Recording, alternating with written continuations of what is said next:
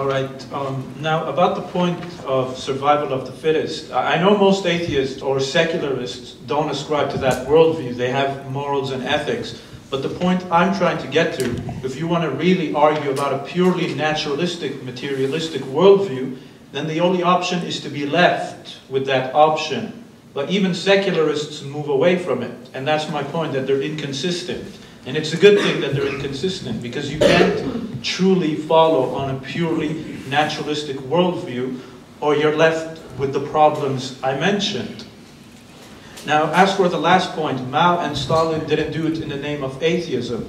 All right, no problem. But what's to say that those backward societies in the South, in America, the societies that are more religious than the ones in the North, what's to say that the reason why they're backwards, the reason why they have more problems, is because of their religion, is because they're somehow backwards in the name of religion? See, my point is you can't simply make that correlation.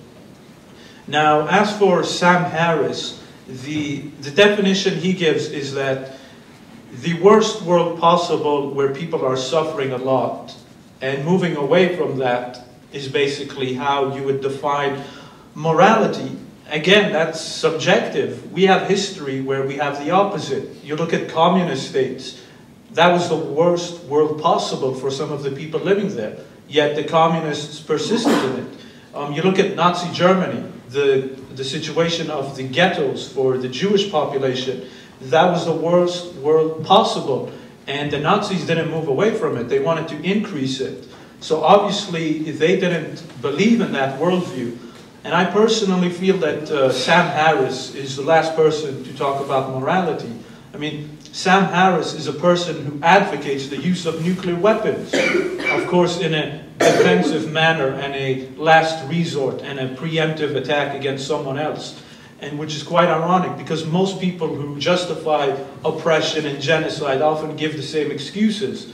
So I think he, he's the last person to talk about the worst world possible when he talks about using nuclear weapons that can literally kill millions of people. And he advocates the use of nuclear weapons in the Muslim world, which will, as I said, kill millions of people. So once again, you see the subjective worldview.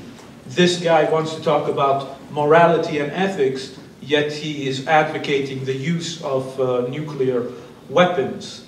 Now, as for the difference between religion and science, you know, in science you can prove yourself, or you want to prove what's right, and if you're wrong, you'll accept it. You know, you're trying to prove your theories. And in religion, you can never accept that you're wrong.